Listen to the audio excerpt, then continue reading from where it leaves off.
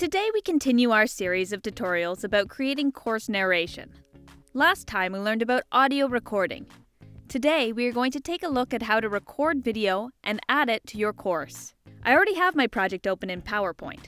First, I will make sure I am on the iSpring Suite tab, and then I will head on over to our narration tools.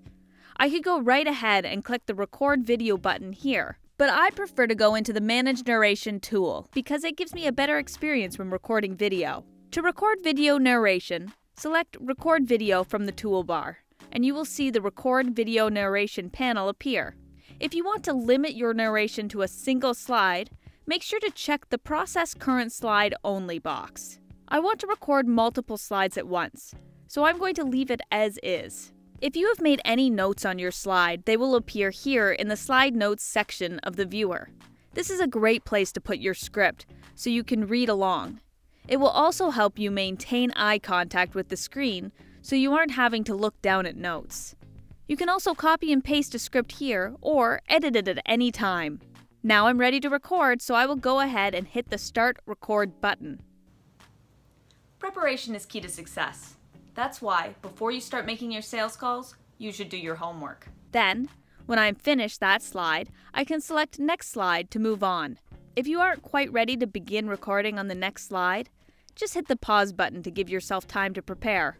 And then, whenever you are ready, select the Resume Record button to start it back up. If you already have a video recorder, you can also choose to import an already existing video file by selecting Video from the top bar. You can even select multiple videos at once. Now I'm given some import options. I can choose to insert the video clip at the current cursor position or at the beginning of any slide in my presentation. I can also turn on Adjust Slide Duration to automatically adjust the slide length to fit the length of the video. Then, when I am satisfied with my settings, I can select Insert.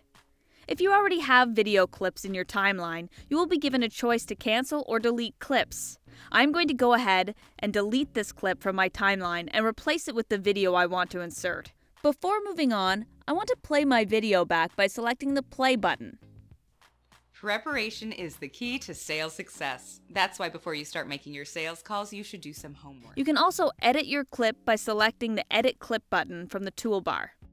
Now it's time to synchronize my video with slides and animation effects. It's pretty awesome because iSpring lets me choose the exact moment an animation should appear while watching the video. All I have to do is select the sync button, and a sync panel will appear above the timeline. To begin syncing, I will select the Start Sync button. This will begin playing my recording. Now I can see that the beginning sync button has changed into a next slide or next animation button, depending on what will be the next step. When I am ready for the next slide to change based on my recording, I will select the next slide button. I can continue to do this to sync the whole presentation. Of course, I can pause and resume the process at any time. And when I'm done, I will select Done. Now all I have to do is save and close. I'm almost ready to publish, but before I hit that button, I just want to change the player. To do that, I'm going to select the Player button. Then, under the Select Player category in the top toolbar, I will change from the Universal Player, which will show my slides as they are set up in PowerPoint, to Video Lecture, which will allow both my slide presentation and my video lecture to be shown side by side.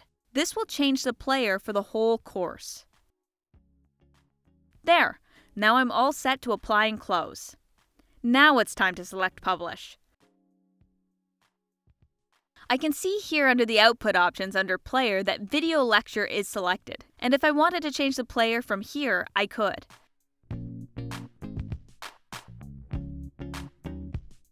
And there it is.